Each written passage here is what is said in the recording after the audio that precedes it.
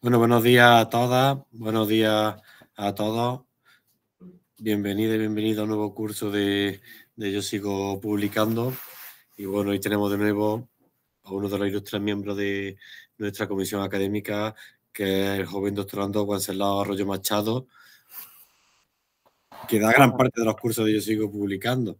Que yo creo que lo conocéis todos porque es de nuestros miembros más, más activos y hoy va a dar un curso sobre cómo afrontar la revisión de, un paper, una cosa a la que tarde o temprano toda la gente que nos dedicamos a la actividad académica tenemos que, afrontar.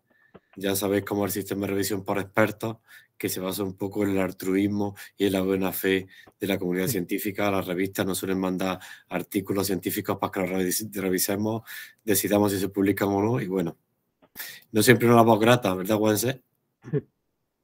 Eh, esto es interesante porque desde el punto de vista de, gente que está en formación, como puede ser los, que formamos parte de, de, Yo Sigo Publicando, nadie nos, nos informa, nadie nos ayuda o nadie nos da directrices de cómo se han de revisar los papers. Las revistas científicas, algunas tienen directrices, te ponen algún cuestionario, en fin, pero realmente es una cosa que vamos aprendiendo poco a poco y un poco a ciegas con la práctica, como gran parte de las cosas que, que hacemos. Por eso este curso de WhatsApp yo creo que, que, va a venir bien y que debe ser bienvenido. Eh, y bueno, como siempre me veis callando y dar las gracias, WhatsApp, por, por el curso y nada, te doy la palabra. Vale, pues muchas gracias, Dani. También eh, en el curso lo, vamos a hacerlo eh, Nicolás Robinson y yo, lo que pasa es que, Nicolás va a hacer una segunda parte, ahora se, se unirá aquí al curso, y yo voy a centrarme pues, en esta primera, que es un poquito más práctica y hablando un poco desde, mi perspectiva como, como, doctorando, porque es justamente lo que acaba de decir Dani. Aquí muchas veces pues nosotros empezamos a meternos en una, en una serie de, de prácticas o de procesos que muchas veces ni siquiera sabemos cómo llegamos a, algunos de ellos y vamos aprendiendo básicamente pues en base a, nuestra experiencia, lo que nos comenta algún compañero, lo que nos preguntaba nuestro director, nuestra directora de tesis, pero no tenemos unas directrices de por sí claras en cuanto a cómo funcionan muchas de estas cosas. Entonces, pues yo lo que voy a hacer es comentando un poquito pues cuáles son desde mi perspectiva, desde mi experiencia revisando trabajo, pues las primeras cosas, las primeras pautas que, que me resultaban más problemáticas o cuáles son los consejos que, que, os doy con diferentes procesos por si ahora estáis una revisión o vais a hacer una revisión dentro de poco, que ya explicará también Nicolás de qué depende que os asigne una revisión o, o no. Y por eso, cómo afrontarla, pues con mucha tranquilidad, porque evidentemente esto es como todo. Una vez llega el correo para una invitación de una, de una, de una revisión, empiezan a surgir muchas dudas, el típico eh, síndrome del impostor, estaré preparado, no estaré preparado, mi, opinión sirve para algo. Y ya cuando empecé a redactarlo, pues van a surgir un montón de dudas. Pues entonces, aquí lo que voy a, transmitir un poquito de, calma con, este sentido y dar pues, una serie de pautas para que cuando luego hagáis la revisión, pues ya sepáis pues, por dónde encautarla y también sepáis que muchas de las dudas, muchos de los problemas que tengáis, pues van a ser comunes a todo el mundo.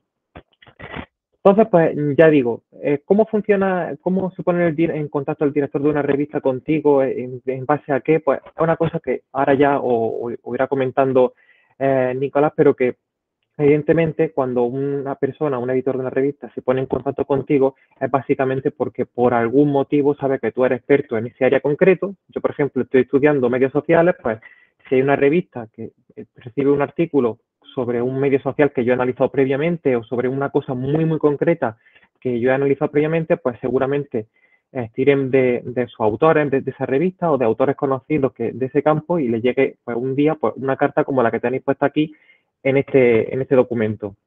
Os llega una invitación del nombre de una revista en la que simplemente os dan unas directrices muy básicas. Dicen, mira, soy el editor de tal revista, he recibido este artículo que tiene este título y este resumen, es muy importante que veáis el resumen para que también sepáis si es vuestra temática. Algunas veces van a identificar muy bien las personas que pertenecen a un área. Si ya digo, yo por ejemplo he hecho un artículo sobre Twitter explorando tal cosa y ha llegado un segundo artículo muy parecido, pues evidentemente pues en blanco y en botella. Vamos a coger este autor que lo ha hecho anteriormente y va a dar un vistazo pues mucho más, más profundo, más, correcto al artículo.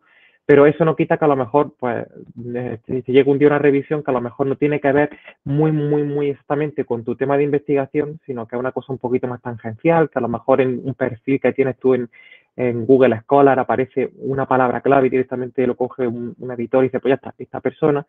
Y os darán, pues eso, en, el correo una dirección muy básica, una información muy básica de cuál es el trabajo que queréis que, revisar y vosotros pues tenéis que pues, valorarlo con mucha calma.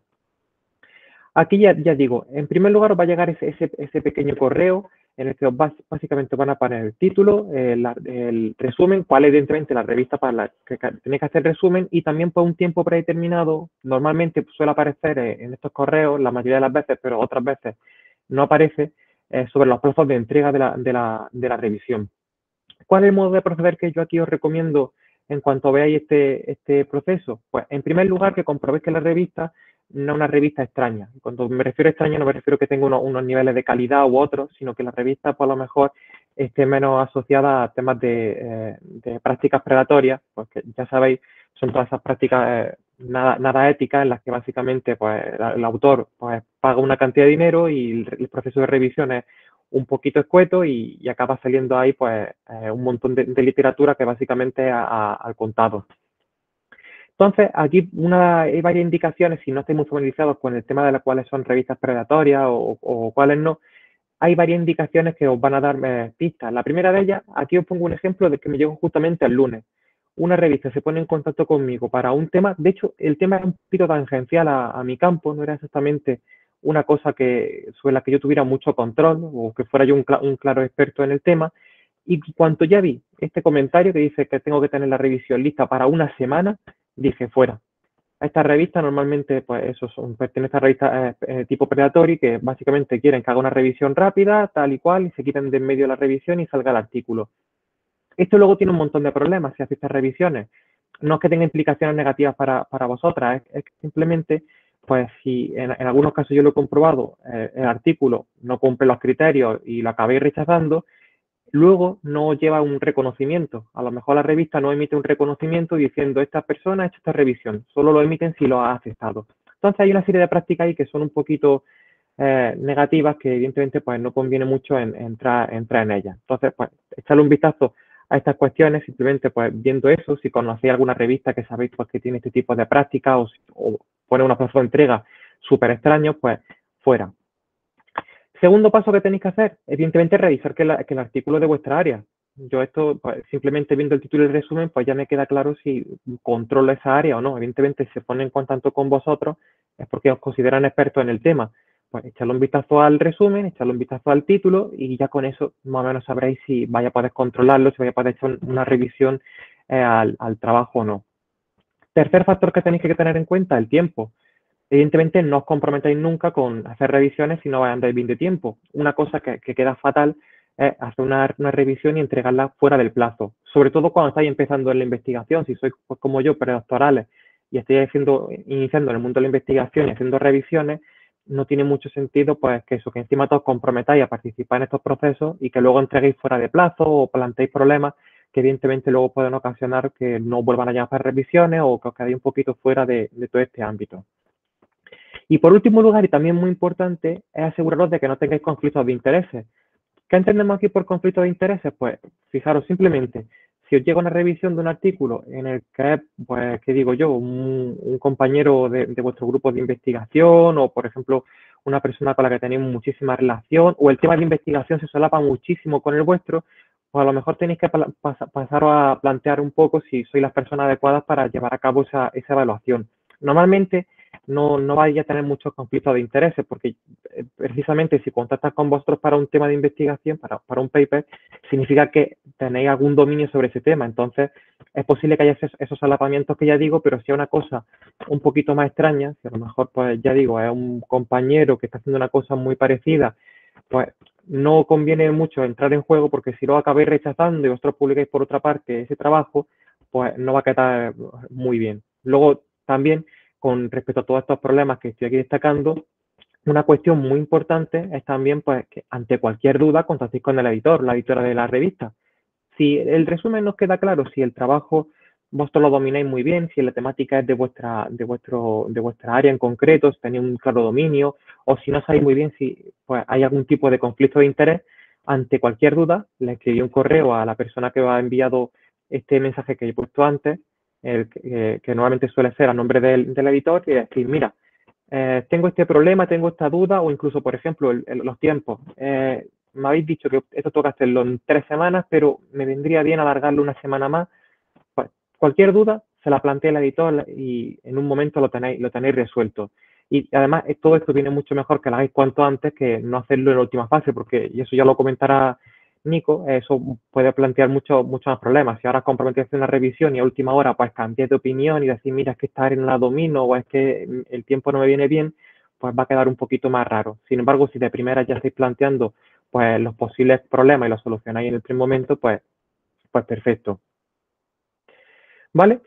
Entonces, este es el primer, paso. Recibí un correo en el que invitan a revisar un artículo, echáis un vistazo para el tema, si de vuestra, de vuestra área, el tiempo que tenéis para, para realizarlo, si se ajusta a vuestro calendario o no, y también revisáis los posibles conflictos de interés que podáis tener con ese trabajo si lo, si lo vais a revisar. Una vez solucionado esto, lo que tendría abajo en, el mismo correo es un pequeño enlace en el que os dicen, mira, eh, si quieres aceptar el trabajo, pincha aquí, o si quieres rechazarlo el trabajo, pincha en este sitio, o directamente entra en esta página y dinos cuál es tu respuesta. Entráis en el enlace, simplemente en algunos casos dirán que os aseguréis que estos criterios los cumplís, que os vais a ajustar en el tiempo, que no tenéis problemas con, con, el, con el trabajo, que cumplís con el dominio de esa temática y ya pues pasaréis a, directamente de forma automática, simplemente darle un clic a tener acceso al documento y a la plataforma donde vais a hacer la, revisión. Y esto es justamente lo que vamos a explicar ahora, cómo sería al afrontar ese proceso de revisión ya habéis, pues eso, superado esta primera fase, tenéis claro que el trabajo es podéis revisarlo. Ya digo, esto también, aunque lo, lo cuenten a, lo cuente ahora Nico, es muy importante que participéis todos en estos procesos desde el inicio de vuestra carrera investigadora, porque también nos permite un poquito poneros la piel del, revisor, anticipar cuáles son las posibles preguntas que van a hacer, porque vosotros ya habéis hecho ese, proceso y también vais a desarrollar un poquito más de, lectura crítica. Entonces, no tengáis tanto miedo a participar, simplemente controlar esos pasos que, yo digo para, evitar luego problemas y entrar en todas las veces que podáis a, realizar estos, estos procesos, pero tampoco sin dejar que, os exploten, evidentemente. Si ahora empecé a hacer revisiones y recibí una cada semana y seguí aceptando, pues vais a recibir cada vez más y vais a tener que llegar en un momento a decir, mira, para que no, que no puedo más, sobre todo además estoy en una etapa predoctoral. Entonces, ¿cómo sería eh, la, elaboración de la, revisión de una forma eficiente para evitar luego el problema y sobre todo pues, para tener todo esto muy encauzado y, ir directo al grano? Pues yo aquí os resumo varias tareas básicas que, que suelo hacer yo, ya digo, cuando yo pongo todas estas cosas es un poco de mi experiencia. ¿Cuáles son las cosas que yo hago para hacer estas revisiones que también pues con estos años he ido un poquito pues puliendo más? Pero evidentemente esto se va a seguir puliendo y perfeccionando cada, vez más. Cada uno va a tener que encontrar un poquito su, perfil y, orientarlo hacia, hacia el, lado que más le, convenga, la forma más eficiente de trabajar. Luego, además, las revisiones pueden cambiar un poquito en la área. Yo, por ejemplo, me dedico a temas más cuantitativos, entonces hay varios aspectos que, siempre voy muy a tiro hecho y sé dónde pueden haber problemas, dónde puede eh, existir alguna, algunas cosas interesantes. Entonces, que cada uno lo hace luego a su, caso, pero bueno, aquí tenéis un punto de partida que a lo mejor es, relevante. Tareas básicas que yo comento aquí. En primer lugar, y retomando lo que decíamos antes, volver a revisar los conflictos de interés. Puede parecer tontería, pero si a lo mejor os llega un trabajo y en el, en el, en el correíto que os llega no aparece quiénes son los autores y una vez estéis el trabajo veis que los autores pues son dos compañeros de vuestro departamento, pues dice, hombre, es que antes no existían conflictos de interés porque no tiene esta información. Pues echarle un vistazo eh, un poquito más de profundidad en este punto al documento para aseguraros que no estén problemas y seguir para, adelante, ¿vale? Entonces, ya digo, lo, de los conflictos de interés revisarlo en, en, los dos, en las dos partes porque a lo mejor no tenía acceso a toda la información de, de primera. Segunda parte, eh, ¿Qué es lo que tenéis que hacer? Pues eh, muchas veces cuando eh, os llega una invitación, automáticamente lo que hace el editor de la revista es crear un perfil en esa, en esa, en esa revista, en esa plataforma. Si sois autores, pues directamente os lo envían al perfil que ya tenéis creado, pero si no sois autores, os va a crear un perfil y os va a decir, mira, te he creado un perfil que se llama Vence Arroyo y tu contraseña es una contraseña aleatoria. Entra y, hazme la, la revisión. Si ese es el caso, lo que yo recomiendo es que vayáis a vuestro perfil y lo pongáis al día porque muchas veces aquí no van a incluir los editores vuestro ORCID o vuestro enlace a otras plataformas, que es muy importante que tengáis conectadas para que luego cuando hagáis la revisión podáis hacer una vinculación de esa revisión y os reconozcan perfectamente el perfil. ¿Vale? El, perfil, la revisión que habéis hecho en vuestro perfil. Entonces, si hacéis vuestro usuario, pues directamente rellenéis toda la información eh, paso, a paso, paso paso y si no es el caso, pues eh, entráis al perfil y revisáis que, está todo en, orden. Tercer paso, esto es muy importante. Lo que justamente comentaba antes cuando, cuando hemos empezado la sesión, Daniel, muchas veces eh, las revistas tienen sus propias directrices para las revisiones y siempre van a tener directrices para los autores. Echarle un ojo a las directrices para los autores, yo aquí pongo, por ejemplo, la de la revista Comunicar, pues, echarle un a ver qué es lo que le piden a, los autores, pues, por ejemplo, cuál es la temática concreta del trabajo, aunque esto ya es una cosa que el editor evidentemente ha tenido en cuenta, si, envía el trabajo es que normalmente la temática es ya identificado que, es pertinente a la revista, pero echarle un vistazo general a las directrices que le dan los autores para saber un poco eh, qué es lo que le, exigen o qué es lo que le piden que tenga el, artículo. Y luego, eh, que eso puede ocurrir en algunos casos eh, y en otros no, echarle un vistazo a las directrices para los, para los revisores. En algunos casos, pues vais a tener pues, todo un documento como este, en el que dice cuáles son los criterios para revisar, cómo vais a hacer la revisión, cuáles son los aspectos que quieren que valoréis más, a lo mejor no quieren que valoréis un aspecto en concreto al que tú le das mucha importancia, o a lo mejor os van a exigir que luego cuando hagáis la revisión rellenéis un formulario muy concreto y tú pues eso no lo tienes en cuenta. Echarle un vistazo a esto toda esta información porque es súper eh, importante para hacer la, revisión. Fijaros, en este caso esta revista lo que tiene cuando manda una revisión es un pequeño informe, un pequeño, una pequeña rúbrica como esta en la que os dice, valórame con esta puntuación estos aspectos. Pues, título y resumen. ¿Qué puntuación le das? Del 0 al 5, tal. Relevancia de la, temática, original del trabajo, revisión de literatura, del 0 al 10, pues tal. Y unos pequeños comentarios acompañando estos, estos, estos pequeños elementos que tenéis que valorar. Esto es súper importante porque si vosotros eh, directamente os descargáis el documento, el, manuscrito que tenéis que revisar y vais haciendo unas pequeñas anotaciones y luego un día antes o dos días antes vais a la plataforma y decís, venga, copio y pego lo que he hecho y, listo. Y os encontréis que tenéis todo un documento súper estructurado y guiado en el que os dicen, ve rellenando cada campo y tenéis que adaptar toda la revisión que habéis hecho, pues supone una pérdida de tiempo bastante importante.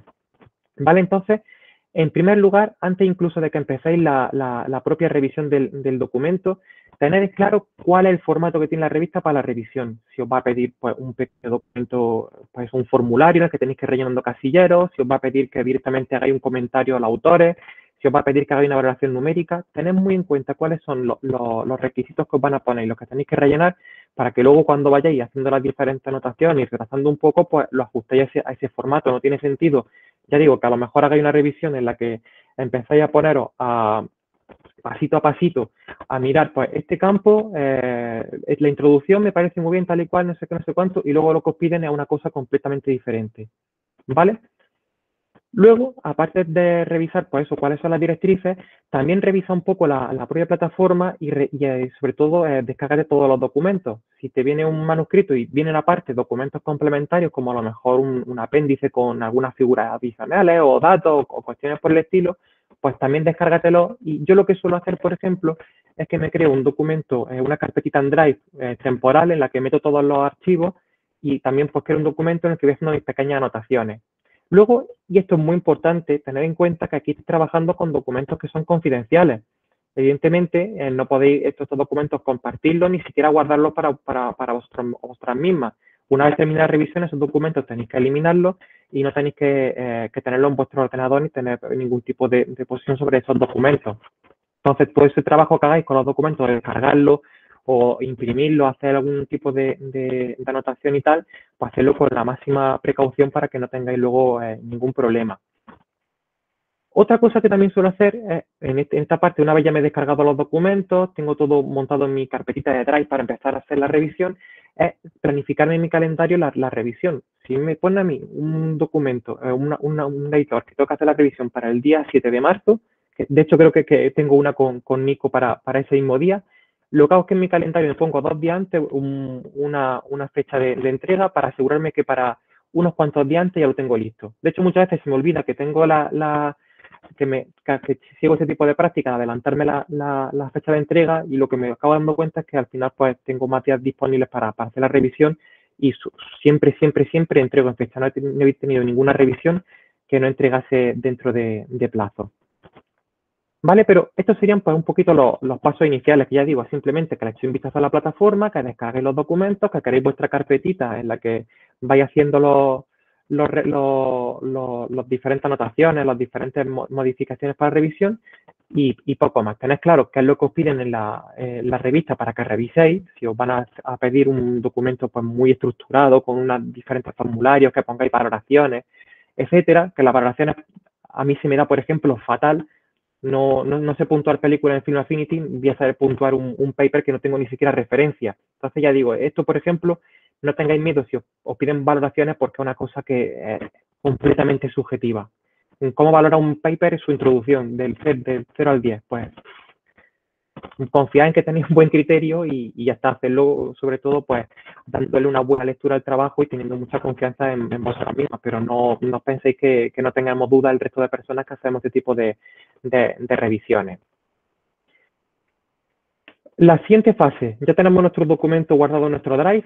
¿Cómo hacemos la lectura? Evidentemente, la lectura de un documento científico para una revisión no tiene absolutamente nada que ver con una lectura que hacemos rutinariamente. Yo, por ejemplo, ahora me cojo un paper que estoy haciendo, un, haciendo una investigación, me descargo varios papers que son relacionados para ver lo que han hecho y la lectura que hago es completamente diagonal. Me miro, me miro el astra, me miro la metodología, me miro las conclusiones me miro siempre las cuatro cositas en las que yo sé que está lo que yo voy a necesitar para mi, investigación y para ver un poquito qué están haciendo otras personas, pero esa lectura no tiene absolutamente nada que ver con la lectura que voy a hacer para, un para una revisión.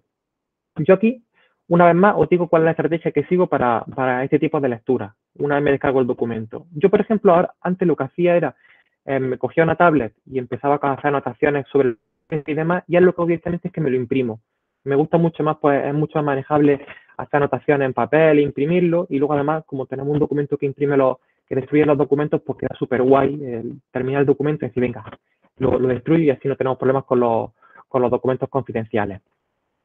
Y ahora, fuera coña, ¿qué es lo que hago con estos documentos una vez lo imprimo? Pues le aplico varias lecturas. En primer lugar, lo que hago es una, una, lectura muy diagonal para saber muy bien qué es lo que hace ese trabajo y tener una impresión muy general y muy clara del, del documento. Si empecé a hacer el documento, a hacer la lectura de forma muy crítica desde el inicio, sin saber muy bien qué es lo que hacen, vaya a tener muchísimas dudas o va a generar problemas de tener que releerlo varias veces.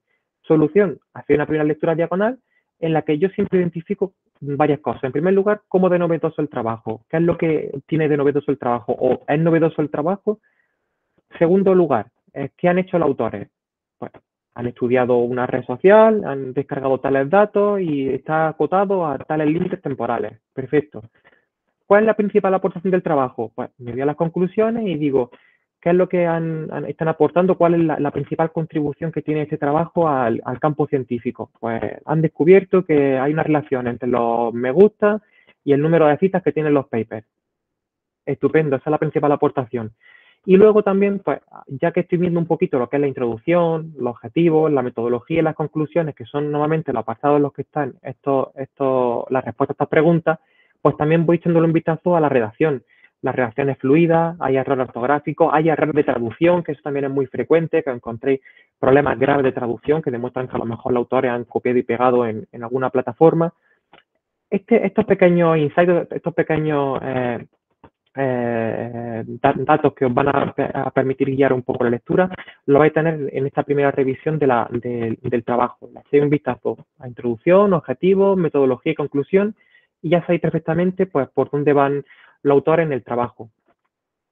Siguiente paso, pues ya hacer una lectura mucho más crítica. En este caso, ya si sentarse pues con un blog de notas al lado, con diferentes subrayadores, como vosotros hagáis las anotaciones, cada uno pues que sea libre de hacerlo como más le guste, y hacer una, lectura súper crítica, leyendo línea por línea, revisando bien pues, lo que están diciendo los autores, cómo lo conectan con la literatura, si a lo mejor una figura eh, eh, tiene algún tipo de error, si hay sesgos, todas las preguntas que os vayáis a hacer durante esa, esa fase y anotándolas y subrayando qué cosas os parecen interesantes, subrayar, por ejemplo, la idea que hace, eh, que, tiene cada parrafito, ya en función pues de cada uno o cada una, pues cómo le gusta hacer las anotaciones o o trabaje en ese sentido, pues que se sienta libre, pero al final la idea es es hacer una lectura muy, muy, muy en detalle, muy en profundidad del, del, documento, ¿vale? Ya como sabéis, pues, qué es lo que han hecho, cuál es la, principal aportación del trabajo y cuál es la metodología un poco por encima, pues vaya a saber muy bien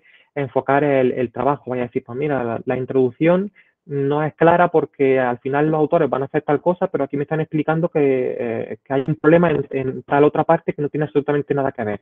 Pues todas esas cuestiones ya vayan anotándolas, o si a lo mejor hay una cifra que os, parece llamativa, o hay una afirmación del autor que os parece que no es correcta o que no tiene suficiente apoyo o suficiente evidencia, pues lo vais subrayando y todo eso al final lo que hacía es construir el, informe que ya explicaré ahora cómo, cómo, funciona. Pero al final, después de esta lectura, lo que tenéis que tener es el documento súper guarreado de, anotaciones, tener vuestro, vuestro blog de notas, lo que utilicéis para también eh, tomar eh, apuntes con un montón de comentarios, de cosas que os han llamado la atención para bien y para mal, porque no es solo revisar para destrozar un trabajo, no se trata de, eso, se trata pues también de encontrar cuáles son los puntos positivos del trabajo y, y fortalecerlos, cuáles son cosas que son que tienen limitaciones y a lo mejor no están ni siquiera destacadas o cuáles son aspectos mejorables del trabajo y, comentándolo un poco. Ya digo, a nivel micro, de pues aquí te falta eh, una coma o a nivel macro de, mira, eh, lo que ha hecho aquí con este proceso metodológico no es correcto porque las conclusiones que tú al final eh, alcanzas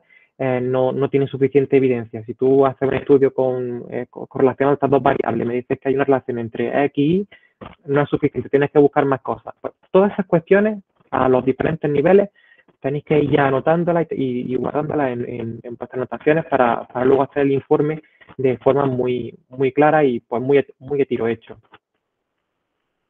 Después de esa lectura crítica, en la que ya tenéis pues, el documento perfectamente eh, estructurado, lo tenéis todo eh, muy bien eh, marcado, lo que tenéis que hacer es una revisión de las diferentes secciones del trabajo. Tenéis que ver en la introducción pues al hacer un análisis muy concreto de, la introducción, pues eh, cómo, revisar literatura, si la literatura es reciente, si se deja el trabajo eh, pues, por el estilo eh, fuera de, ello, la metodología, pues si los métodos son correctos para el trabajo, si los datos son los, comparte el autor, son transparentes, una serie de, cuestiones pues, más específicas de cada sección, analizarlas pasito a pasito. Aquí yo os dejo en estas tablas un poco cuáles son las preguntas que me hablo con esas diferentes secciones. Por un lado, distingo lo que serían las cuestiones formales, pues cojo el título y el resumen. ¿Reflejan el trabajo? Eh, ¿Son demasiado extensos el, título o el resumen? ¿Hay algún, por ejemplo, problema que el título a lo mejor hace un poco de clickbait y, y no tiene nada que ver? Pues lo anoto. Segunda parte, la estructura. Pues el documento está estructurado, por ejemplo, nosotros en nuestros trabajos de, estudios cuantitativos, pues es siempre la, estructura clásica y estándar, introducción, metodología, resultados, discusión y conclusiones. ¿El trabajo sigue esa estructura o me hace una cosa diferente? ¿O el trabajo se subdivide en muchos apartados y la, la lectura es muy engorrosa? Pues lo anoto. La redacción, lo que comentaba antes, hay errores gramaticales, errores de traducción, la lectura es muy fluida. Eso también es una cosa que, muchas veces he visto, que los, artículos, te lees lo que dice la metodología que, está haciendo el trabajo y no te queda claro. El autor empieza a divagar, a, mezclar cosas por un lado, por otro, o no es nada transparente. Pues toda esa parte de fluidez o de cómo está redactado también es importante eh, ponerlo en, relieve. luego, la referencia, ver si lo, lo que está citando son trabajos actuales y si los trabajos que están haciendo pues también va en relación con el, con el paper. Una cosa también me he encontrado muchas veces que el autor pues va a hacer una investigación sobre el tema X. Hay unos trabajos que son muy, muy, muy, muy relacionados, que están por ahí eh, publicados. Yo le he hecho un vistazo muy rápido a Web Science y Web Scholar y digo, pero bueno, ¿cómo va a investigar esta persona este tema si ya hay 50 trabajos y además no ha citado ninguno de ellos? Pues esas cuestiones también es importante que lo veáis. Y aparte de que el trabajo sea novedoso, pues hay otros trabajos muy relacionados que también eh, salen aquí en relieve y el autor pues defiende perfectamente que son eh, porque su investigación es pertinente, que no que aporta cosas nuevas que no han hecho otro, otro investigador y que además lo está reconociendo en el, en el trabajo. Y en cuanto a las sesiones, pues justamente lo que, lo que comentaba antes. Aquí yo, por ejemplo, en, los tipos de trabajos que nosotros eh, realizamos, hay cuatro sesiones que son fundamentales. La introducción, la metodología, los resultados y la discusión. Pues en cada una de ellas siempre tengo las mismas preguntas eh, que, resolver. En la introducción, el tema de investigación queda claro, los autores hacen una divagación y al final no conducen a lo que dicen que van a defender los objetivos o por el contrario la introducción es muy clara, abordan muy bien el tema de, forma pues, relevante, la, revisión de la literatura es, exhaustiva, los principales eh, eh, artículos de investigación están aquí recogidos, ¿sí o no? ¿O qué está faltando? ¿Qué, ¿Cuáles son los problemas que existen? Pues todo eso lo anoto. En la metodología, básicamente lo que me aseguro es que la metodología es reproducible, que hay una, transparencia en la, en la, metodología. Si los autores dicen que van a analizar eh, tal fenómeno y no me dicen de dónde han sacado los datos, no me dicen cómo lo han procesado, no me comparten los datos o simplemente los métodos son un poquito eh, insuficientes, a lo mejor me parece que lo que han hecho no es suficiente para acabar, acabar teniendo determinadas conclusiones, pues también lo remarco. En los resultados, pues me voy dando un poquito cuenta de, aquí, por ejemplo, también lo que puede pasar muchas veces es que se haga bola el trabajo, que a partir de una introducción en la que ya surgen unos problemas, pase a la metodología en la que arrastren esos problemas y luego ya evidentemente los resultados, pues esto ya es una cosa insalvable. Si a lo mejor la metodología ya pues tenéis problemas de transparencia, los datos están muy secados, hay problemas con los métodos, etcétera, etcétera, etcétera, pues los resultados evidentemente van a decir, pero bueno, es que estos resultados no son, no son relevantes o no son útiles porque los métodos los datos que hay detrás pues arrastran una serie de problemas que no, no lo permiten. Aún así también tenéis que revisarlo y ver si eh, esos resultados eh, están correctamente comentados. No se trata, muchas veces también lo que vaya a ver a lo mejor es que el autor o la autora dice, venga, toma esta tabla, toma esta figura, la comento, pim, pam, fuera, listo.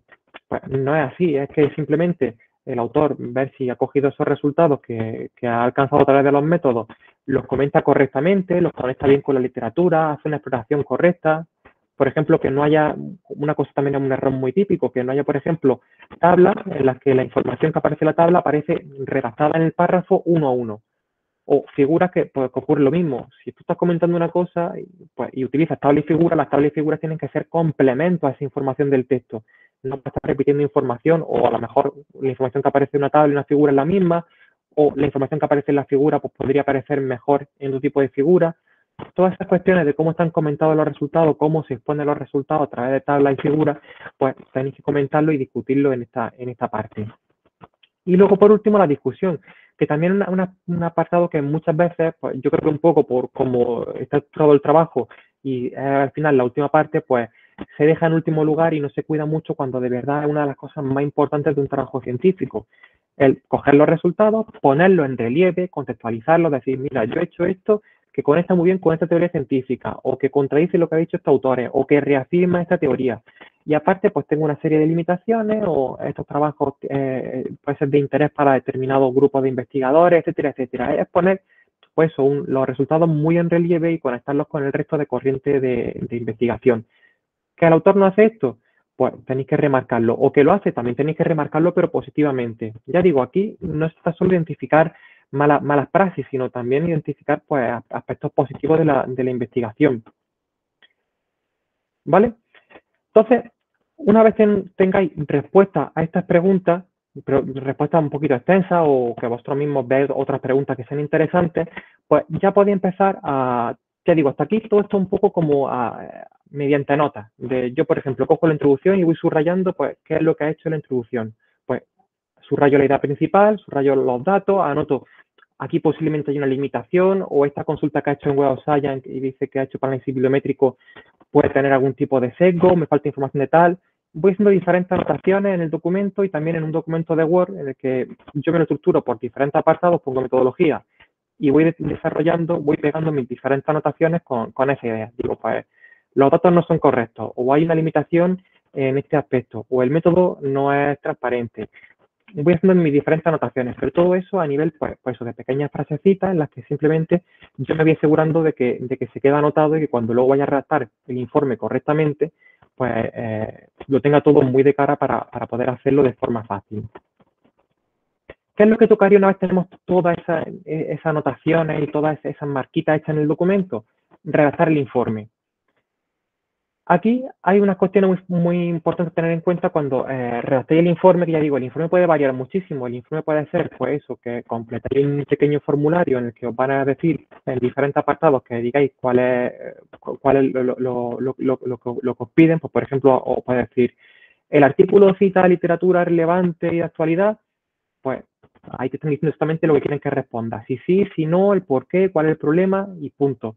¿Los métodos estadísticos son suficientes también descritos? Sí, no, tal, tal y cual. Entonces, si tenéis de primera, del punto de partida, pues cuáles son esas preguntas, o al contrario, no tenéis ninguna pregunta y simplemente dicen hacer un comentario al autor, pues es muy importante para luego estructurar bien todo este documento y hacer las anotaciones pues en relación con ello. Lo que sí es que eh, cuando hagáis el informe es muy importante que eh, sigáis una serie de directrices para evitar luego problemas. En primer lugar, tenéis que tener en cuenta que cuando eh, estéis revisando un, artículo, no tenéis que actuar como gatekeeper o como eh, guardianes de la, de la revista, no, tenéis que estar, pues eso, impidiendo que entre literatura o que solo, o, que haya algún tipo de, de, problema en este sentido. Simplemente tenéis que hacer una revisión en la que os van a solicitar que hagáis, pues, pues, una serie de comentarios que permita el trabajo mejorarlo, o que permita identificar problemas importantes y si se pueden resolver, resolverlos o si son insalvables, pues rechazarlos, pero en ningún sentido tenéis que partir a hacer un trabajo pues con una perspectiva pues completamente destructiva, arrolladora, de, de voy a buscarte eh, dónde tiene el problema y reventar el trabajo. No consiste en eso una, una revisión, ¿vale? al menos una revisión correcta no va, no va por ahí. Tenéis que simplemente ver cuáles son las fortalezas, las debilidades del trabajo y hacer una serie de comentarios a los autores para que lo mejoren y al editor pues para saber si esas propuestas que tú haces son alcanzables o no son alcanzables, porque si al final el trabajo tiene un montón de problemas que durante una revisión no van a poder ser alcanzables porque va a, exigir que el trabajo se, tenga que hacer de cero, tengan que cambiar los objetivos, por ejemplo, del trabajo, pues directamente nos ahorramos todo tiempo, se rechaza, incluso se puede proponer a autores que lo, que lo vuelvan a enviar a la revista una vez revisen eh, el trabajo de, de nuevo. ¿Vale? Pero que en ningún momento partéis con esa predisposición a, que el trabajo sea eh, de, pues eso, eh, estrictamente pues, en, esa, en esa dirección. En segundo lugar, y muy importante, que una cosa que a mí, por ejemplo, cada vez me cuesta menos, pero al principio eh, era una cosa que, que, incumplía muchísimo, es tener en cuenta que este no es tu trabajo. Esto es muy importante porque muchas veces nosotros cuando revisamos un trabajo, sobre todo un trabajo que es de vuestra área, en el que tenéis pues, un cierto control, es muy fácil que directamente eh, vayáis por los laureles y digáis, ay, pues mira, esta parte yo lo pondría de esta forma o esta figura yo la usaría. No se trata de eso la revisión. Eh, eso es el trabajo que han hecho los autores. Ellos han considerado estructurarlo de, esa forma, de hacer una serie de análisis en, concreto y que tú a lo mejor te ocurren hacerlo de una forma diferente porque el, tu estilo tu, o tu forma de trabajar pues no es, no es pertinente, no está tampoco de eso. ¿Vale? Es muy fácil que directamente pues un poquito o, o o vayáis para esa dirección de decir, pues mira, yo haría tal cosa, pero no se trata de eso, se trata de recomendar mejoras para que el trabajo corrija problemas o potencie los resultados, eh, la investigación que hace, pero en ningún momento para que se asemeje a tu, a tu forma de trabajo. ¿Vale? Que eso es también una de las cosas que, por ejemplo, compartí esta mañana en Telegram con, con los memes de cómo llega un trabajo a una revisión y cómo acaba siendo el trabajo después de la revisión. Pues es un problema grave. Muchas veces pues, te llega el revisor uno te dice, mira, yo esto lo haría de tal forma, te llega el revisor otro, mira, yo esto lo haría de otra forma, y al final te queda un Frankenstein en el que está tu trabajo y el punto de vista o la forma de trabajar de otras dos o tres personas. Pues tampoco se trata de eso. En tercer lugar, eh, cuando identificáis problemas y tenéis que identificar problemas y sugerir cambios. No se trata de decir, mira, esta, esta metodología es incorrecta y quedarte ahí. No, no. Se trata de decir, mira, tienes este problema, y yo, por ejemplo, lo solucionaría así o lo solucionaría así, pero no hagáis pues eh, propuestas que no sean mm, realizables, que por ejemplo digáis, pues esto es insalvable o, esto es un problema muy grave, sino que intentéis ser pues muy, muy, muy activos en, ese sentido y proponer cambios y, mejoras concretos. O decir, por ejemplo, falta literatura que, eh, actual. No te quedes ahí, di cuál, por ejemplo, son algunos de los trabajos importantes que está haciendo el, el, autor en este trabajo. O si los datos tienen un problema, pues dile cuál es una solución, alguna alternativa para solucionarlo. Pero en todo momento, pues ser muy concreto y muy preciso con, con los cambios que, realiza. Utiliza siempre muchos ejemplos o señala diferentes apartados que te han llamado la atención, pero no sea ambiguo o, abstracto cuando haga ese tipo de, comentarios. Luego, evidentemente, una cosa que os vais a encontrar y que evidentemente cualquier investigador tiene que, que, reconocer es que los trabajos no están exentos de limitaciones una cosa que un trabajo tenga limitaciones y otra diferente que el trabajo tenga limitaciones que sean eh, completamente insalvables, ¿vale? Pues entonces tenéis que diferenciar un poco, que el trabajo tiene sus limitaciones, podéis corregirlas o destacarlas en la, en la, en la discusión y dejar el tema resuelto, pues estupendo. Ahora que las limitaciones pues, son más importantes, pues si tenéis que destacarla o entrar muy en lleno a, que los autores pues la, resuelvan, pero evidentemente no tenéis que buscar que el trabajo esté libre de limitaciones porque ningún trabajo va a estar 100% libre de alguna limitación o, evidentemente pues eso, apoyarte en esas limitaciones pues para, el rechazo o, lo que sea. Hay que reconocer porque los trabajos tienen sus limitaciones y que tienen que estar reconocidas en su, discusión. Algunas serán muy graves y tendrán que ser más o menos resueltas y otras pues evidentemente pues son insalvables. Son cuestiones que evidentemente todo el mundo va, a, incumplir o va a tener ese problema cuando haga una investigación. Evidentemente cuando hagáis comentarios tenéis que hacerlo con muchísima educación y amabilidad esto suena un poquito, eh, un poquito absurdo, pero eh, puede darse casos de que a lo mejor algún revisor pues, haga algún tipo de comentario irónico o, alguna cosa un poquito fuera de tono que evidentemente no eh, sobra por completo. Lo que tenéis que hacer unos comentarios al autor, unos comentarios al editor que sean muy formales, en los que os dirigís con mucha educación y que evidentemente cuando, por ejemplo, hagáis un comentario cuando hagáis una revisión y, y, estoy diciendo un montón de cosas negativas de, mira, tienes este problema, te falta tal cosa, tienes este no sé qué, pues, también intercalé un poquito cosas positivas, que le di un poquito de feedback bueno a, los autores. Pues mira, estos datos que he utilizado me parecen muy interesantes, o el problema que aborda es, muy importante. No se trata, pues, eso, de, que el autor luego cuando reciba el documento, pues se, venga abajo cuando, cuando vea la, revisión. De hecho, también, pues, un poco empatizar con, con, los propios autores, hacer comentarios que sean, pues, pues, pues muy amables, muy, muy, muy educados y que también, pues, no pongáis solo en relieve lo, negativo, sino también las cosas más, más positivas.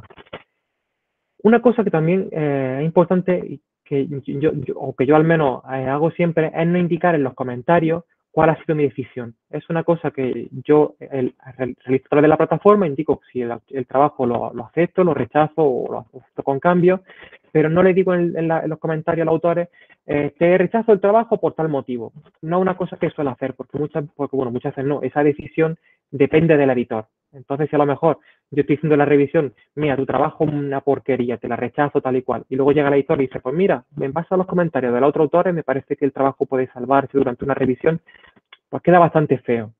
Entonces, no, no toméis unos roles que no son vuestros y no, no comuniquéis por la decisión a través de, ese tipo de, comentarios. Y evidentemente, pues como siempre, ante cualquier duda, contactéis con el editor. Yo, por ejemplo, algunas veces he tenido problemas de que he visto que a lo mejor un trabajo tenía un número muy, muy, muy grande de autores para el trabajo que estaban haciendo. Digo que este trabajo es un trabajo que, que vamos, no es ni siquiera un trabajo que haría una persona en, en cuarto de, de, grado en nuestra, en nuestra carrera.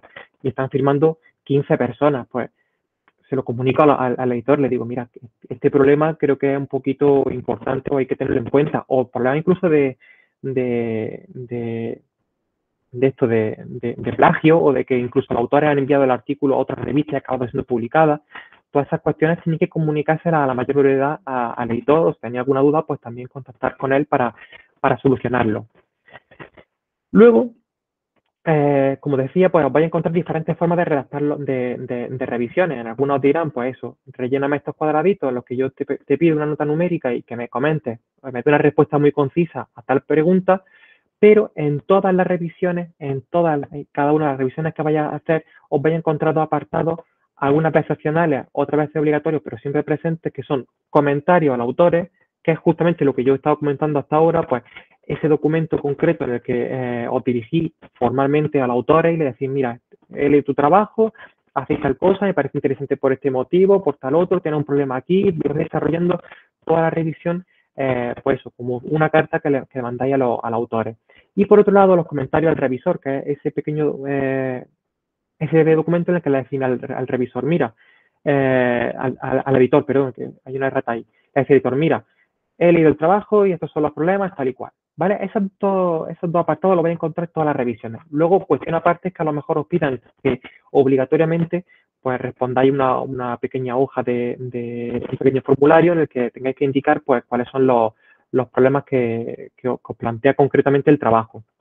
Por eso ya digo, todo esto que estoy comentando aquí lo estoy comentando como enfocado a, esa parte de comentario al autor, de esa carta que le escribe al autor explicándole cuáles son los problemas, cuáles son las fortalezas del trabajo y cuáles son las cosas que tendrían que hacer para, mejorarlo. Luego ya aparte son las otras cuestiones que como son muy guiadas, si yo te pregunto eh, cuál es la fortaleza del trabajo o si has citado a trabajos recientes, pues ahí no tengo yo que plantear ninguna, ninguna duda al respecto. Sí, no, por este motivo o por este otro. En cuanto a los comentarios de autores, pues este es un documento que muchas veces se os va a hacer súper extenso. Yo, por ejemplo, tengo algunos comentarios de autores que son tres páginas de Word, son dos mil palabras explicando a los autores pues qué cosas son mejorables, qué cosas están bien hechas, etcétera. La extensión tiene que ir muy acorde coherente con vuestra decisión. Si el trabajo está perfecto, no tenéis que hacer ningún comentario y ya está, pues no tenéis que hacer un, documento de Word de cinco páginas diciéndole lo bonito que es el trabajo. Pues mira, está perfecto, me gusta esta idea, cambiaría un poquito esto y fin. Ahora, si el trabajo lo estáis rechazando, no vale con decir, mira, la metodología es un desastre y fuera. No, no, no. Se trata de, me voy a centrar en explicarte pasito a pasito cuáles son los problemas que yo detesto, cuáles son las propuestas de cambio que yo haría. Pues mira, tienes este problema, a lo mejor con esto lo solucionas.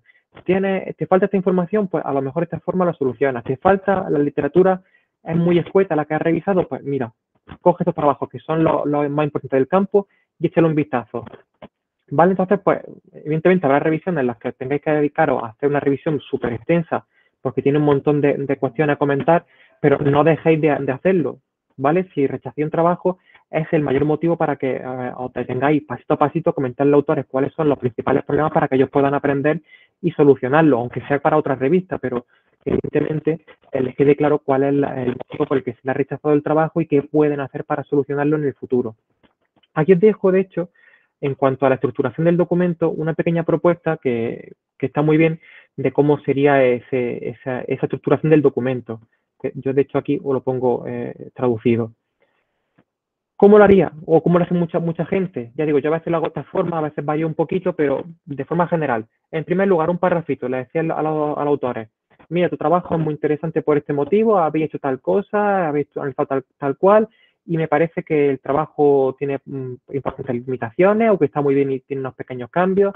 Un pequeño párrafo en el que ya saben ellos lo que le va a decir durante el resto del documento, si te ha parecido interesante, si te ha parecido relevante, si le ha encontrado muchos problemas, y sobre todo porque también le, demuestra que el trabajo te lo has leído y, sabes por dónde, por dónde va y cuáles son sus principales virtudes. A continuación, le describí en detalle pues, cuáles son los problemas más relevantes, pues un párrafo, mira, en la metodología ha utilizado estos datos y tiene unos problemas muy graves porque tal, tal, tal, tal, tal. O en, la introducción hay un problema muy grave y es que no introduce muy bien la literatura o obvia literatura muy relevante que trata problemas muy relacionados con el tuyo pues, los problemas más importantes lo va detallando parrafito por parrafito en, el documento. A continuación, pues simplemente un listado de problemas menores. Aquí, por ejemplo, si utilizáis pues, un listado por puntos, en el que decís, pues, eh, en esta línea hace alusión a tal cosa que a lo mejor necesita más evidencia. Por favor, que los autores necesiten más trabajos para, para, para, solucionarlo. O aquí falta información sobre qué han, qué han hecho los autores. Aquí hay un pequeño problema en tal cosa. Cuestiones muy menores que a lo mejor sabéis que, que simplemente reformular un poquito ese, ese, párrafo o añadir algún tipo de información que sabéis que los autores manejan, pues lo comentáis mediante puntos y así los autores tienen muy claro, pues, uno a uno cómo ir resolviendo esos, esos apartados. Y por último, pues un listado de errores eh, ortográficos, tipográficos, es decir, pues mira, estáis utilizando un término que es incorrecto, estáis utilizando unas abreviaturas que no están bien explicadas aquí, hay problemas con la traducción, la, el término tal plantea problemas. Pues todas esas cuestiones también a través de pequeños puntitos, pues lo vais comentando. Ya eso cada uno pues que siga un formato pues, sea más cómodo para, para de hecho unos autores que tienen como su plantillita y las van aplicando en todos los, en todos los casos. De forma general, yo, tanto como revisor como autor, lo que me he encontrado un poquito es, ese formato. Luego, en cuanto a los comentarios al, revisor, al, al, revisor no, al editor, que tengo que cambiar eso, ya os digo, es muy sencillo, simplemente es un campo, de hecho, opcional, no es obligatorio que respondáis al, editor con, unos comentarios, pero yo suelo hacerlo, sobre todo suelo hacerlo para indicarle en dos o tres frasecitas eh, que han hecho los autores, cuáles son los principales problemas, las principales fortalezas del trabajo, y le facilito un poquito al autor, eh, al editor su trabajo. Le digo, mira, el trabajo está estupendamente, pero si cambiasen varias cosas estaría estupendo. O el trabajo es un desastre y ni siquiera con una revisión van a poder solucionarlo porque los problemas son X, Y y Z al editor le, paso esos comentarios que solo lo va a ver el editor, porque por cierto, los comentarios del autor lo ve el autor y el editor, pero los comentarios del editor solo lo ve el editor. Entonces, cuestiona un poquito que, quieres comentar con el editor para trasladarle grandes preocupaciones que tienes, pues podéis hacerlo a través de, ese campo. ya digo, en este caso iría simplemente con un párrafo, con unas poquitas líneas, lo resolvéis y listo. ¿Vale? Y ya por último, eh, tendréis que emitir una recomendación si aceptáis, rechazáis o aceptáis con cambio el trabajo. Aquí que no tiemble el pulso. Si habéis hecho la revisión pasito a pasito habéis sentado una o varias tardes a leer el trabajo eh, concienzudamente, habéis hecho todas las anotaciones posibles, habéis hecho una revisión de la literatura pues, en Google Scholar para aseguraros que no hay trabajos relacionados, que habéis visto los datos, etcétera, etcétera. Si consideráis al final, bajo vuestro criterio, que el trabajo es rechazable, que es aceptable, que es aceptable con mejora, etcétera, pues ya está, no tenéis que preocuparos, no, no agobiáis. Tened en cuenta también que no sois los únicos revisores hay otros revisores que están revisando también el artículo y al final la decisión de rechazarlo o aceptarlo depende del editor. Entonces, aseguraros que todo lo que, lo que estéis comentando en los autores pues, tiene coherencia, tiene sentido y que luego, pues, en base a lo que vosotros juzguéis mejor de, bajo vuestra perspectiva, pues, eh, recomendéis una cosa u otra. Muy importante también tener en cuenta cuál es la revista. Esto puede sonar un poco clasista, pero evidentemente no es lo mismo revisar para un Q1 que revisar para un Q4. No es lo mismo revisar para Nature que revisar para la revista que, está editando eh, tu compañero del departamento y no está indexada ni en, ni en, Google Scholar. ¿Vale? Cada una va a tener unos criterios. Evidentemente, la novedad que exige Nature o que exige una revista de las más altas, más prestigiosas, no es el nivel de novedad que exigen otras revistas. Pues también tenéis que tenerlo en cuenta, tanto para bien como para mal. A lo mejor hay un articulito que os llega para una revista y dice, mira, pues en esta a lo mejor con estos criterios no, no lo aceptaría, pero si llegase a lo mejor en otra, dices, pues está estupenda, es un artículo que encaja súper bien con esta revista. Pues también tener esa parte de, de, perspectiva o de contextualización del trabajo. Cada trabajo se envía a una revista y tiene que cumplir una serie de requisitos. Evidentemente, temáticos los cumple. Si el, editor os dice que revise el trabajo, es que él ya ha visto que temáticamente le interesa la revista. Ahora lo que conviene es ver si hay una serie de problemas o una serie de novedades en el campo que está investigando que, que son pertinentes para la revista o no. Y ya por último, para terminar con mi parte, eh, todo esto es un trabajo, evidentemente, que se hace de forma altruista. Aquí no nadie eh, recibe ningún rédito económico, pero sí puede recibir al menos un pequeño reconocimiento que os podéis agregar a vuestro perfil académico. Tanto en Web Science, en, anterior Pablón, que está insertado en Web Science, como en ORCID, hay un pequeño campo en el que os reconocen las revisiones eh, que hacéis los trabajos. Pues fijaros, cada vez que hacéis una revisión, todo esto se va añadiendo aquí y al final tenéis todo un portfolio en el que os van diciendo, pues mira, he revisado tantos trabajos para esta revista, para esta otra, para tal cual.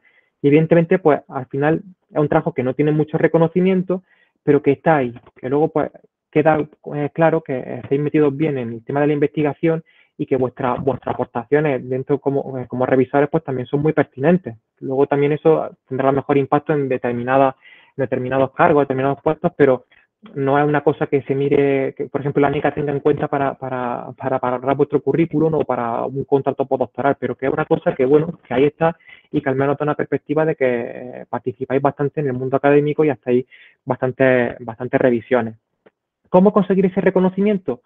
Es muy sencillo. la propia revista os dirá cuando enviéis el artículo, cuando vayáis a hacer la revisión, si queréis que os asocien el reconocimiento a vuestro, a vuestro perfil de, de Orchid o de Pablo, que el, el Web ahora mismo, pues marcáis que sí y ya está. Evidentemente, esto eh, no va relacionado tampoco con si aceptáis o rechacéis el trabajo, salvo que sea predatorio. Si, si, es predatorio la revista, si rechazáis no va a recibir ningún reconocimiento.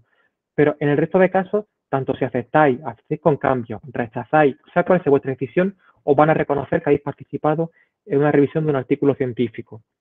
Entonces, de primera, marquéis esa casilla, que no ofrece la casilla para marcarlo y decir que os, valide la, recomendación en vuestro perfil de ORCID y de, eh, Web Science. Pues es muy sencillo. La revista automáticamente os va a enviar un correo conforme envíe la revisión diciendo muchas gracias por hacer la revisión, eh, valoramos muy, muy, muy, mucho tu ayuda, etcétera, etcétera, etcétera. Ese correíto que, que yo pongo aquí una copia de, una revisión que hice para, una revista hace no mucho, simplemente lo reenviáis a este correo que tenía aquí de reviews eh, Web Science y directamente Web Science eh, durante un plazo de una hora o unos días valora esa revisión y lo añade a vuestro perfil del Research ID. Importante, que ese correo esté vinculado con vuestro usuario de Web Science. Si no tenéis la vinculación entre el usuario de Web Science y la, y el, y el correo desde el que habéis recibido la, notificación, eh, no va a poder hacerlo. Vincularlo y enviáis el correo y listo. Y luego, si tenéis vinculado ORCID y Web vuestro perfil en Web pues es automático. Web añade vuestra revisión, ORCID, que está cogiendo los datos de Web la añade también a vuestro perfil. y no tenéis que preocuparos de eso. De hecho, si este proceso lo hacéis, creo que cuando lo hacéis por primera vez para una revista, la siguiente es ya automático. Web Soyan va reconociendo que os llegan esos correos y lo, y lo, y lo, agrega.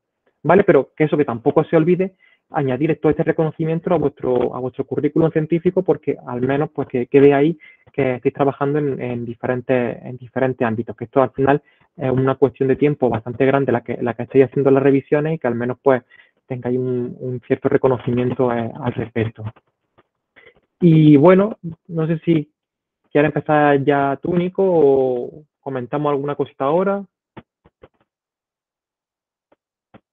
Pues yo por mi parte, para adelante, sigo yo. Em, no sé si tenéis alguna pregunta, algún comentario que queráis hacer antes de que Juan se abandone, porque creo que ahora te tienes que ir, ¿no?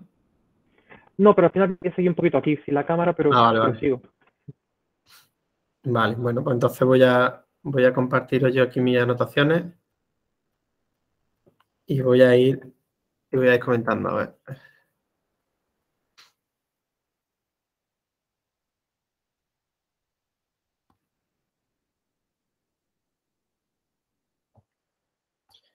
Ok, ahí veis mi pantalla, en teoría. Vale. Vale, bueno, pues yo lo que voy a hacer es intentar complementar un poco lo que ha estado contando Wenceslao eh, con algunos consejos así en plan también desde el punto de vista ya de, del editor, ¿no? Aquí he puesto, he encontrado aquí un enlace de la revista eLife. La revista eLife tiene una, una, una anotaciones sobre cómo hacer revisiones que es bastante interesante, ¿vale? Cuenta en gran medida las cosas que, ya ha contado que ya ha contado ¿vale? De cómo estructurar una revisión y tal, incluso, fijaros, dice, para escribir vuestra revisión, primero hacer una, valoración entre dos o tres palabras, con los principales resultados, eh, incluso da palabras que podéis utilizar para, para resaltar cosas positivas o cosas negativas, ¿vale? Y luego la estructura esta que os comentaba Wence, Em, primero con los puntos más importantes y luego los puntos, los major comments y los minor comments, ¿no?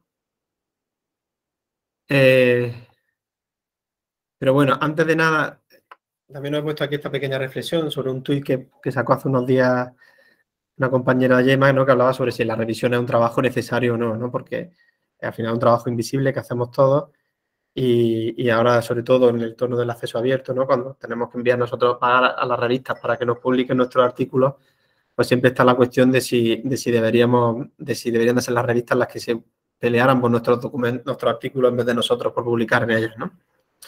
Pero bueno, más allá de eso, simplemente comentaros los tipos de revisiones que hay. Eh, un clásico, ¿no? Normalmente las revisiones por pares suelen ser de ciego o doble ciego. Eso significa en el caso de las revisiones ciegas, que el revisor sabe quién es el autor, pero los autores no saben quién le está revisando.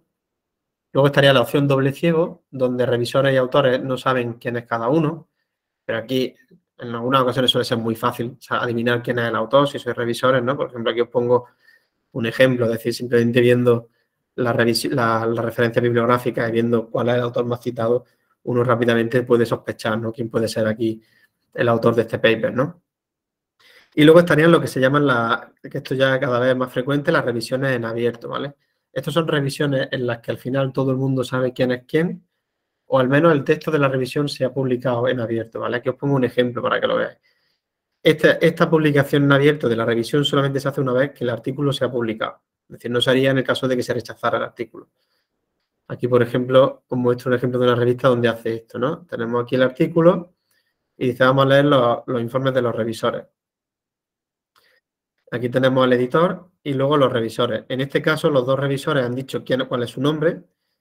En otros casos, los revisores pueden no declarar cuál es su nombre. Y aunque la revisión se haga en abierto y tú tienes que dar permiso a la revista, la revista te tiene que informar ¿no? de que va a hacer eso, em, puedes dar tu información, tu nombre o no, ¿no? Entonces, bueno, aquí pues se va viendo todo el proceso. Obviamente aquí es la última revisión, cuando todos dicen que está todo perfecto pero vamos viendo pues todo el proceso de todos los comentarios que fueron haciendo los, revisores y luego pues con los comentarios de los autores, ¿vale? La respuesta que fueron dando a cada uno de estos cambios, ¿vale? Em, en este caso también normalmente, sobre todo si sois investigadores más nobles, suele dar bastante apuro, sobre todo si estáis revisando el paper de alguna persona importante. Entonces, normalmente yo recomiendo, si os enfrentáis a este tipo de revisiones, pues que os animéis a dar vuestro nombre si la revisión va a ser positiva, es decir, si el texto está bien, ¿no? Pero si es negativa, pues puede tener algún tipo, nunca sabes, ¿no? Al final somos personas y nunca sabemos cómo pueden reaccionar, ¿no? Sabiendo que hemos sido nosotros los que hemos estado detrás de, ese posible rechazo o, comentario crítico, ¿no? Que puede que no, no les convenza. Eh, ¿Por qué te piden que revises un paper? Eh, yo creo que esto es importante para que sepáis exactamente la labor que esperan. Aquí se ha salido esto cortado, pero como tengo aquí mis anotaciones, os lo voy a poner por aquí y lo podemos ir viendo. Normalmente, para empezar, cada vez es más difícil encontrar revisores, ¿vale? Es decir, eh, hay cada vez más papers para publicar, más revistas, plazos más cortos, ¿vale? Y suele ser difícil encontrar revisores y más difícil todavía encontrar buenos revisores. Entonces, lo que suele ocurrir es que hay mucho conocimiento tácito, ¿vale? Muchas conversaciones entre colegas eh, y mucha, y mucho, digamos, mucha gente fichando en los congresos, ¿vale? Normalmente eh, los revisores suelen, los editores suelen buscar revisores jóvenes, gente que está, digamos, en las primeras estadios de su carrera, no super nobles, es decir, no gente que está empezando su doctorado, pero sí que tiene ya cierto recorrido, incluso en algunos casos, incluso gente que está con su doctorado, ¿vale? ¿Por qué? Porque los, investigadores jóvenes suelen ser bastante más serios a la hora de hacer sus revisiones que los investigadores senior, ¿vale? Esto es bastante triste, pero me da a mí la sensación muchas veces de que es eh, completamente eh, es inversamente proporcional en la calidad de como revisor de un investigador en función del prestigio que tiene la disciplina. ¿no? hay, siempre notables excepciones, pero suele suceder. De manera que muchas veces los editores, además los, investigadores jóvenes tienden a decir más que sí, porque suelen estar menos ocupados en ese sentido que, que, investigadores más, más ¿no? que ya tienen otro tipo de labores y tal. ¿no?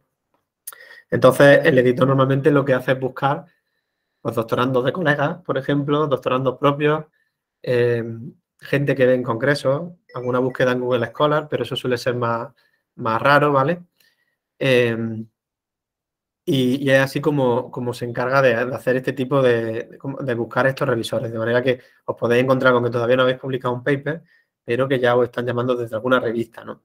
Por excepción siempre de las revistas estas raras depredadores que comentaba antes Wences, ¿no?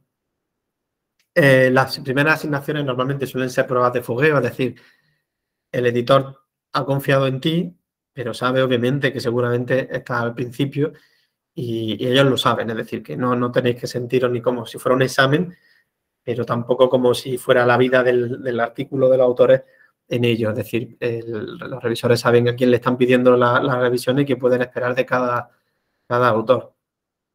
Normalmente estas primeras revisiones suelen ser de trabajo pues menos esto está feo decirlo, pero menos interesante, otra vez por autores menos, conocidos, ¿vale? Es decir, eh, no, son, no, te van a asignar de primeras pues, trabajos de investigadores de primer nivel, eh, porque además seguramente será más fácil encontrarle revisores a ese tipo de trabajo, ¿vale?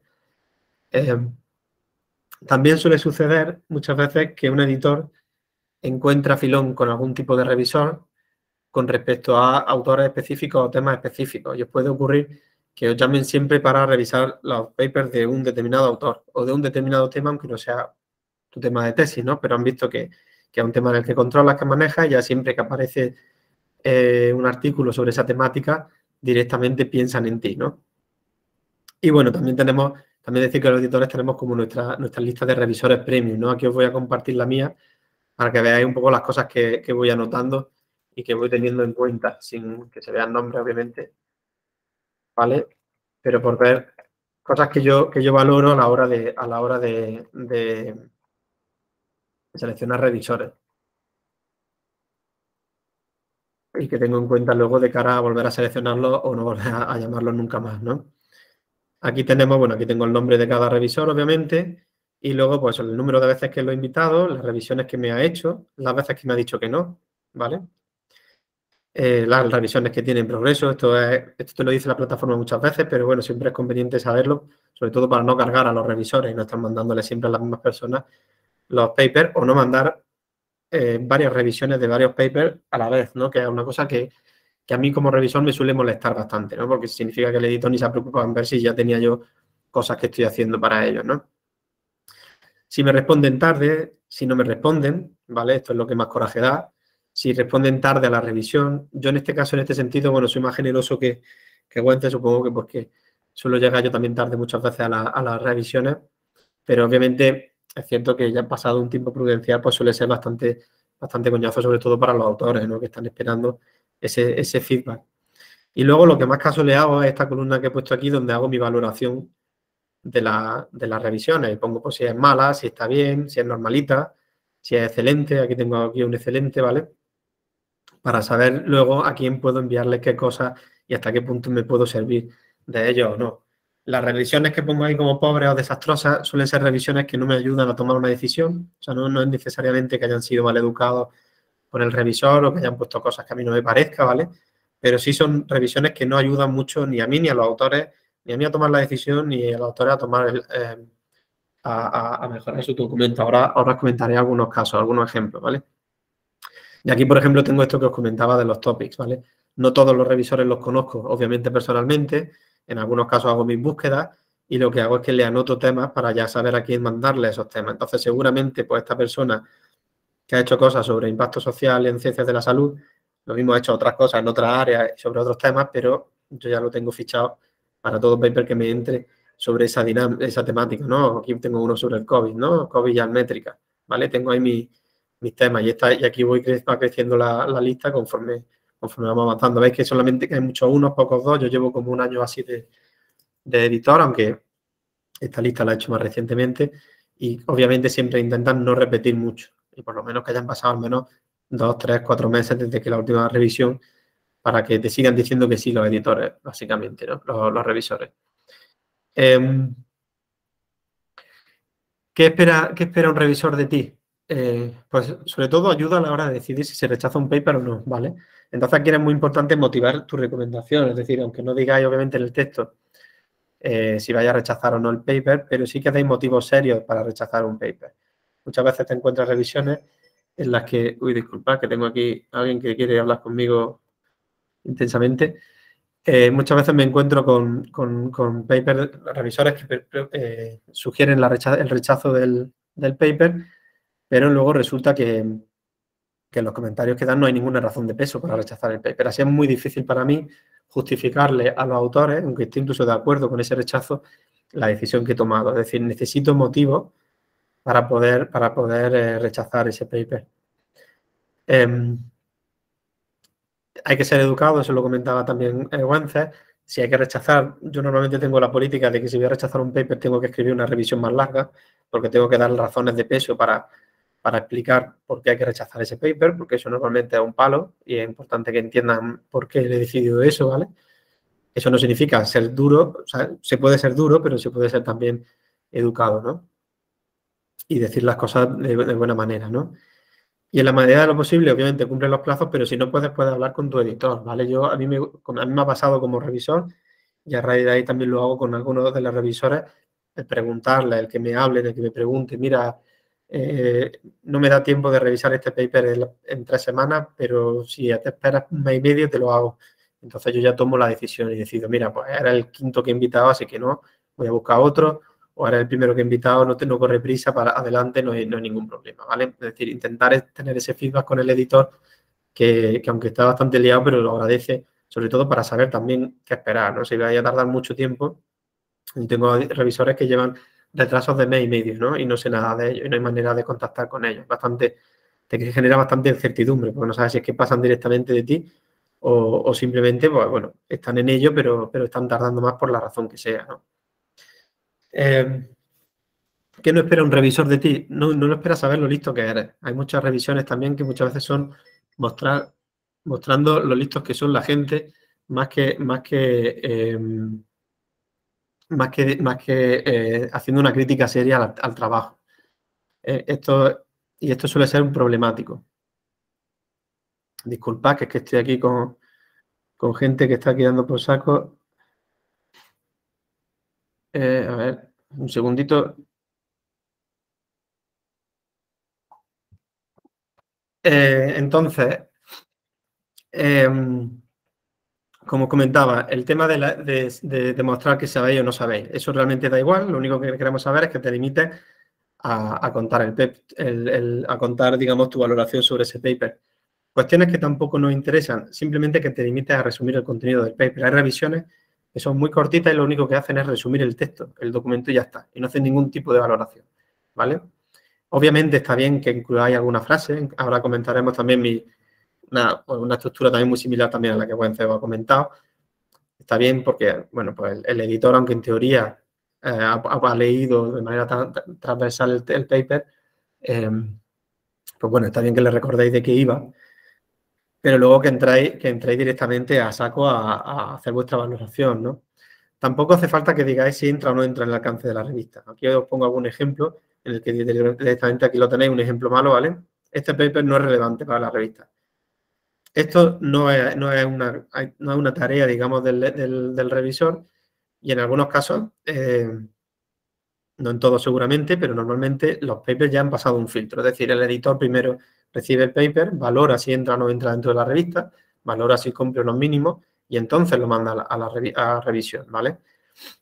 El, el, editor obviamente no revisa, es decir, puede que un paper sea muy malo y sea evidente que hay que rechazarlo, pero no toma esa decisión, simplemente cumple, mira si cumple con unos, digamos, unos mínimos formales. Obviamente, si es muy malo y no tiene ni siquiera el, valor mínimo para que se considere un trabajo de investigación, pues lo rechazará del tirón, ¿no?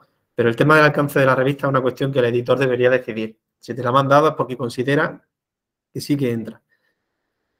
Tampoco hacer de editor de textos. Hay mucha gente que se limita. Esto puede pasar sobre todo cuando estés haciendo vuestras primeras revisiones, por esto de que no sabes qué decir y estás un poco eh, intimidado por el trabajo que te han puesto, ¿no? Te limita a corregir el texto. Es que esto está mal dicho, esta palabra está mal, esta otra. Vosotros no sois editores de texto, hay trabajos que están muy mal escritos en inglés a veces incluso ilegible, da igual que, el, que los autores sean ingleses nativos o no, hay gente que escribe mal en todo el mundo. Em, y esto no es necesario tampoco que lo hagáis. Si es importante que lo hagáis, fijaros, por ejemplo, aquí lo dice, esto, este comentario, por ejemplo, pues está bien. Eh, no soy nativo, no soy un inglés nativo, pero me encuentro el, trabajo que es difícil de leer, ¿vale? O sea, le estáis diciendo, mira, esto habría que mirarlo, podéis incluso darle algún ejemplo, mira, por ejemplo, en la línea tal, página cual, habéis puesto esto que no se entiende dos, tres ejemplos, pero no hacer una revisión exhaustiva del paper, ¿vale? Entonces, bueno, aquí, por ejemplo, un ejemplo malo de revisión.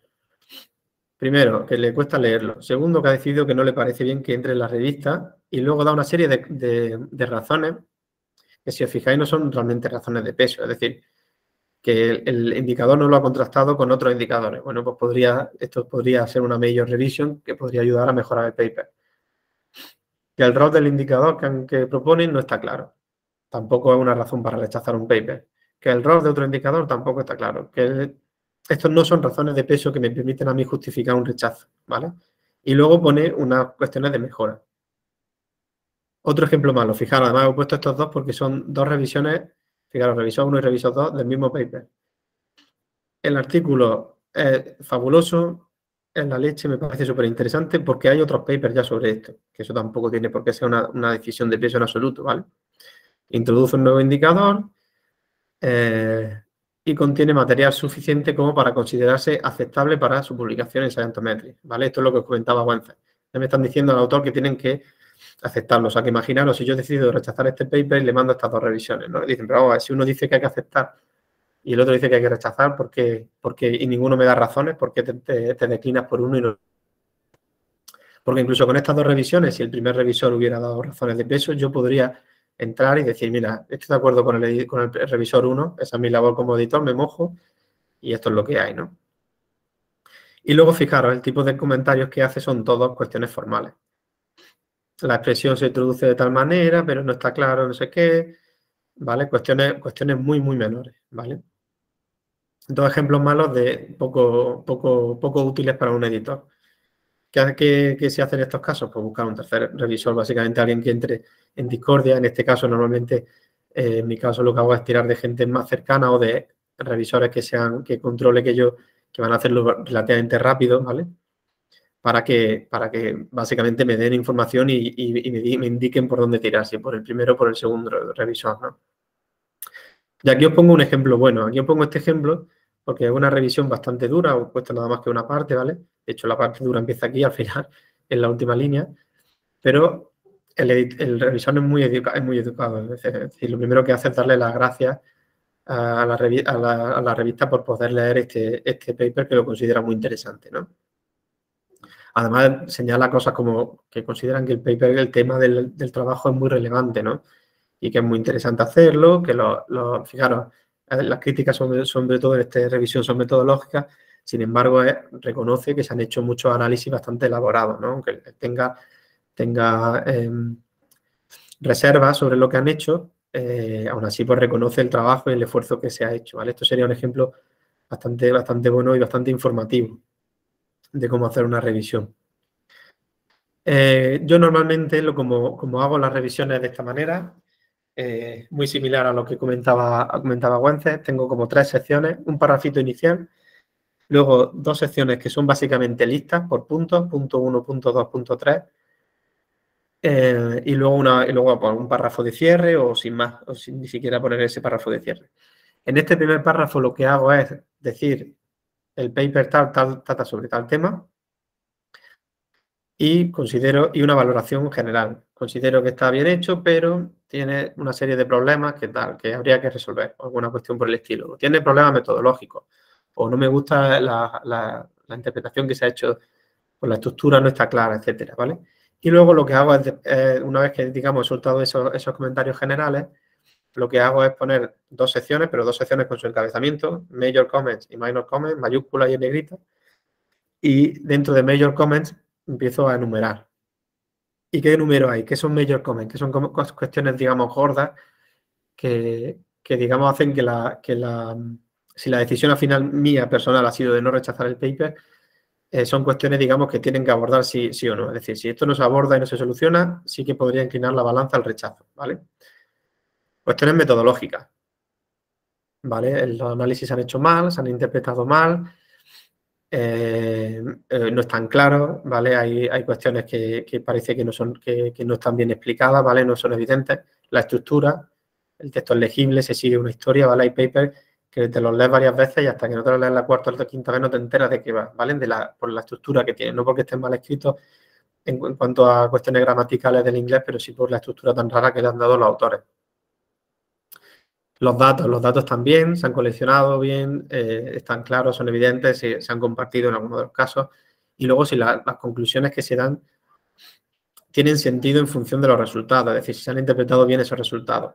¿vale? Yo me encuentro muchas veces análisis, por ejemplo, con análisis estadísticos, donde le sale que hay significancia estadística, han hecho un análisis de regresiones, hay una significancia estadística, pero están utilizando un uso de datos muy grande, por lo cual es muy fácil que haya significancia estadística y la, variable x, que es la que están utilizando, influye mínimamente a la variable dependiente. Ya lo anuncian como que esto es, digamos, que la variable x es la leche porque es la que modifica el comportamiento de la variable dependiente. Todo un ejemplo, ¿no?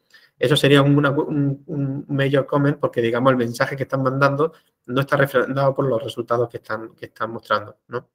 O porque los datos, la muestra que tienen de datos no es representativa o alguna cuestión así, ¿vale? Cuestiones menores cuestiones de estilo, cuestiones idiomáticas, ¿vale?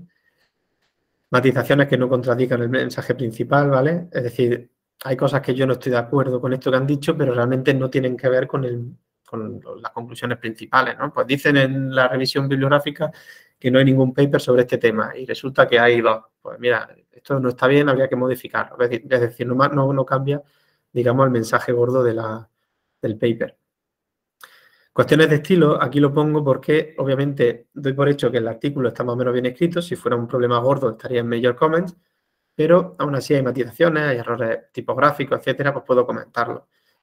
Si hay muchos, pues lo que os comentaba antes. Mira, hay una serie de errores. Yo he encontrado, por ejemplo, estos, pongo tres o cuatro, pero no me pongo a editar todo el texto, a decirle todos los errores tipográficos que hay en el, en el documento, ¿vale?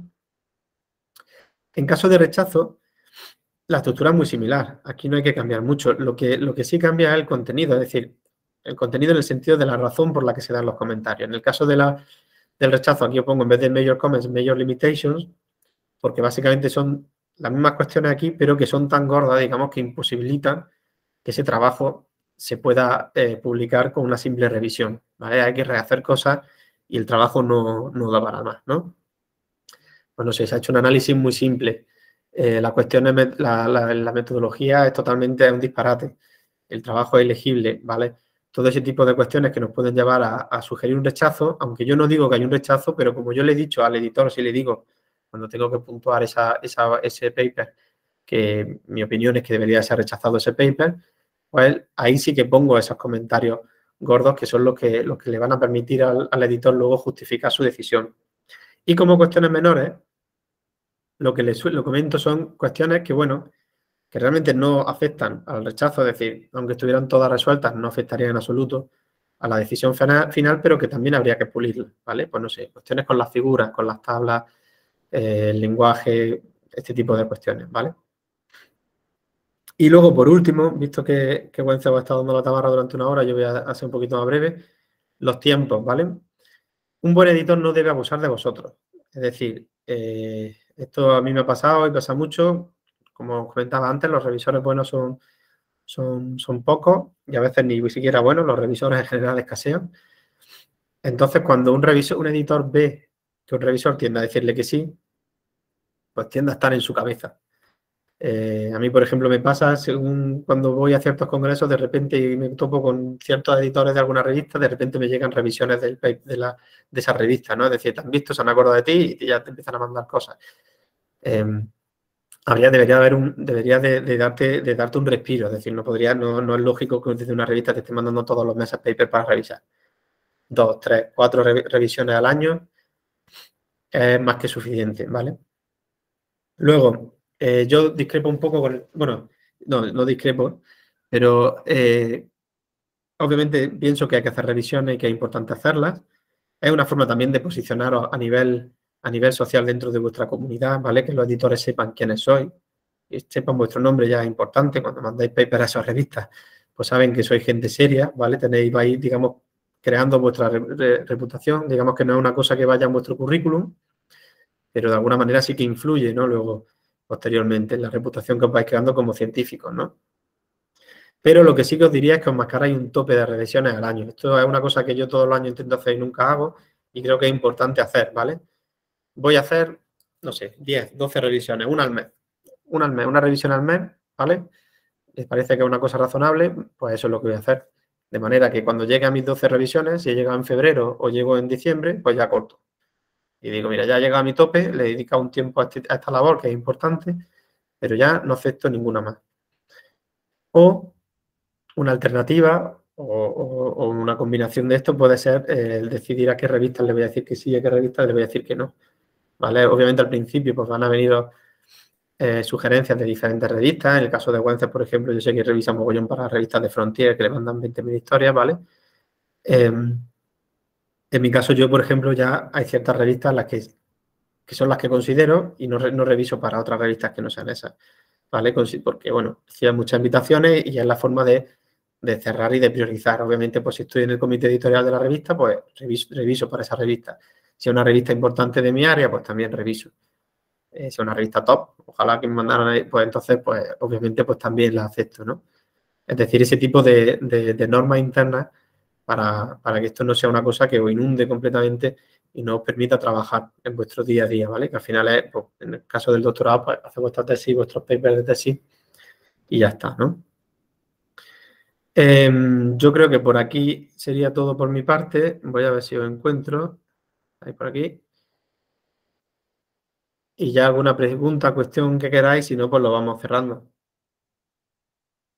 Efectivamente, a le mando todo lo que no reviso yo.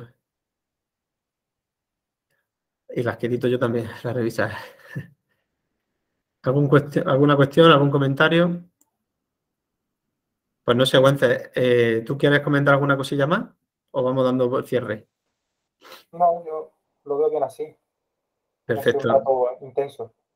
Ya está, hemos dejado todo saturado. Muy bien, pues nada, pues cortamos por aquí. Hasta luego. Venga, un abrazo a todos. Chao.